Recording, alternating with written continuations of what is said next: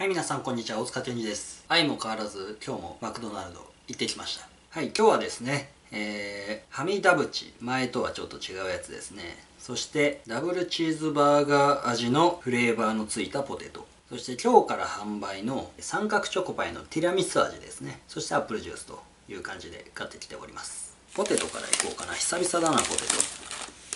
これね、ダブルチーズバーガー味のフレーバー、割と前から出てたんですけど、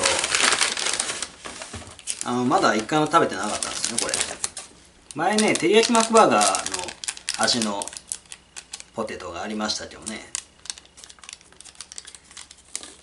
それの時は食べたはずなんですけど、それもね、なんか照り焼きの味というよりは結構スイートレモンソースの味が強かったなっていう印象なんですけどね。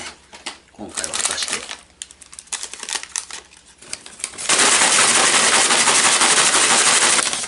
ってみましょうか。まあ確かになんか言いたいことはわかるなって感じですね。結構酸味が強いかもしれないですね。なんかピクルスの味が際立ってるか。今回結構がっつり味がわかるようにポテト S にしたんですけどこれ S だとちょっと濃いかもしんないな味 M とか L で注文した方がちょうどいい味になるかもしれないですね。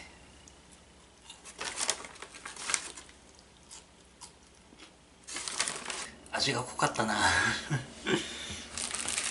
続いてはみダブチ前のね体ぶちと同じであの期間限定の豪華版のダブルチーズバーガーですねはみダブチって何が違うのかっていうとあのこれなんですよね。あの画面でわかるかな？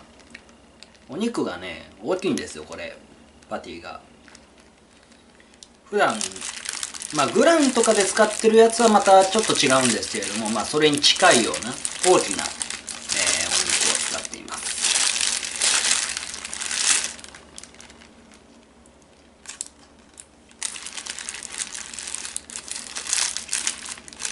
やっぱりボリュームを感じますね。あの、まあ、ただでさえ分厚いお肉が2枚入ってるのでね結構食べ応えがあるかなって感じがしますね。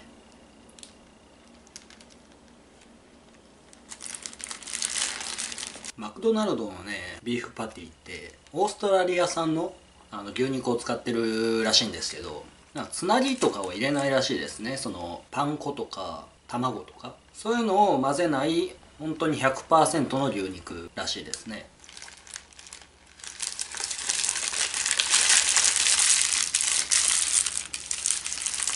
結構お腹いっぱいになりますねこれ。でもやっぱり食べてみて思うんですけどやっぱりピクルスの味強かった気がしますねさっきのポテトは。実際はみだぶちを食べてみて思う。さてこちらはですね次は。三角チョコパイティラミス味。今日から発売ということ今日からなんでねこれも僕は初めて食べますね。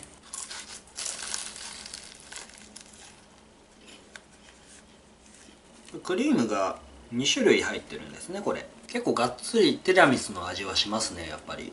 なんか苦いんじゃないかっていう話も聞いてたんですけどそんなこともないかな。まあ確かに子供向けかって言われたらちょっと微妙な感じですけれども。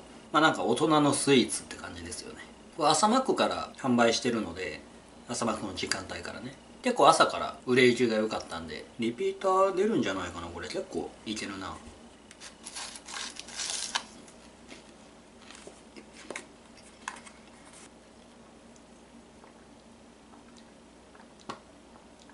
はいというわけで今日のランチでした。